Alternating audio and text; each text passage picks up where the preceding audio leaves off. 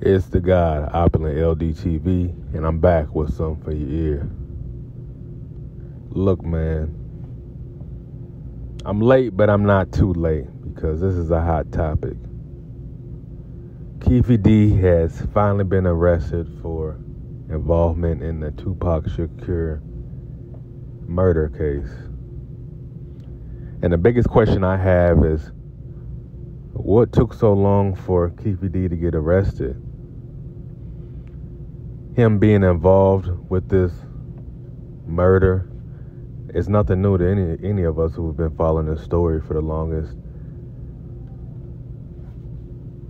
He's definitely played himself because all he really had to do was just stay low key.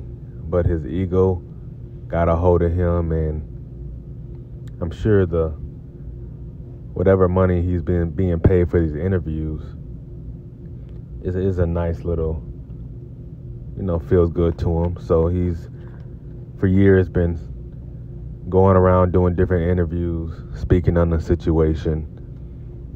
Uh, most of us who, or let me just say, in general, most people know that when somebody gets murdered,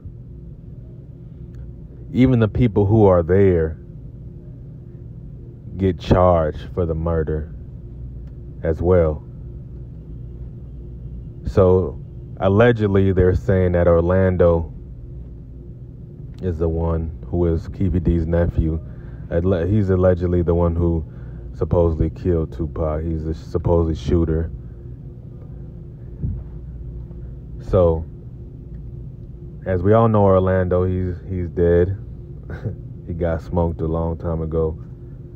Um, Keffe D should have been arrested for this murder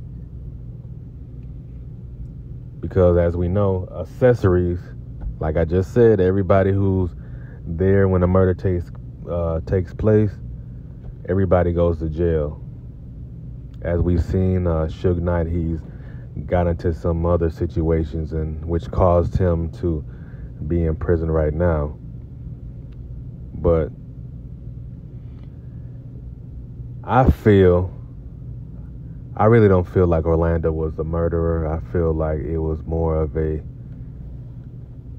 the police officers who work for Death Row. I feel like they're the ones who shot Tupac or definitely have uh, their hands in the hands on the involvement of his demise. Not saying, I mean, it could easily be said. I mean, you got to look on the. Everybody likes to look on the surface. Like people would just be like, "Well, Tupac, he got involved with a situation that had nothing to do with him," which is extremely true. He got into some gang politics, and yes, he definitely deserved to be violated for that. But there's always something deeper than that. If you're a person who just always looks at the surface, then I know for sure that you're definitely lost in the sauce out here in the in the, in the world in this life. but it is what it is. Um, I guess I want to talk about just the fact of what happened to the what happened to just staying quiet after doing, you know, committing a crime? What is what is with everybody having these huge egos and having to go brag about it? What about even you know like why do people have to brag about the crimes that they do? Because to my knowledge, the number one rule in doing a crime is not to get caught. Let me say that again. The number one rule after doing a crime is not to get caught. But people have made it cool these days to get caught and have felonies and shit like that. You know what I'm saying? Um, in all essence, I respect. I know this is an unpopular opinion, but I respect the dudes who do dirt who's never been caught those are dudes that I respect more than more than anything.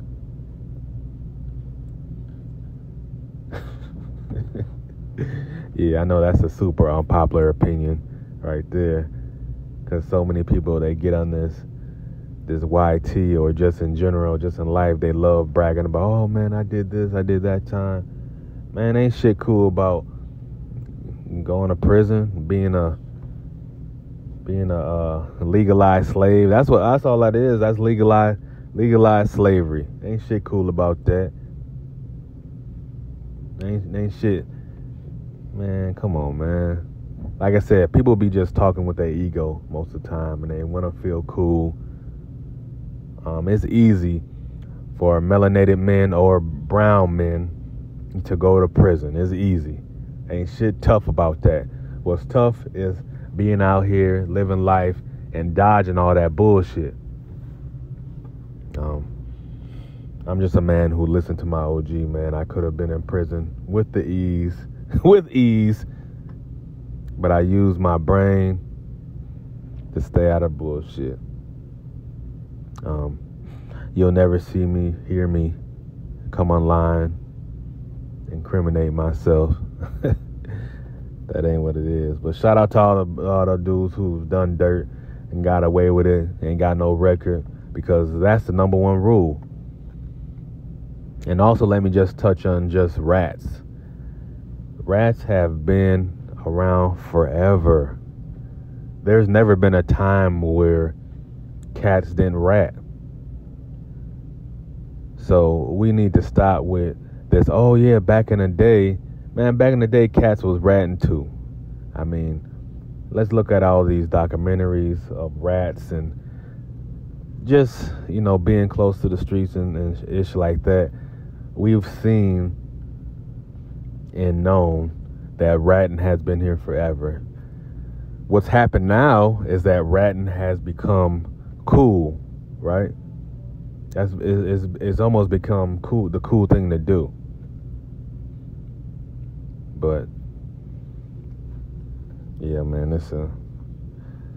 All I can say, man, just stay in your p's and q's and stay out the way, and also stay clear of these crash dummies too, because if if you staying close to these crash dummies when they crash, you're gonna become collateral damage. All right.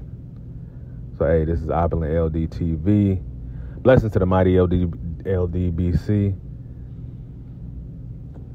I'm reminding you to prosper energetically. I had to do it different this time. But y'all, I want y'all hit that sub button, hit that like